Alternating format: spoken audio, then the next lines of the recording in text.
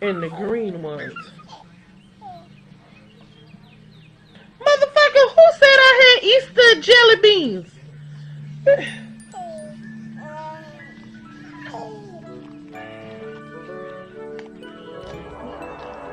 to make a long fucking story short, I put a whole bag of jelly beans up my ass.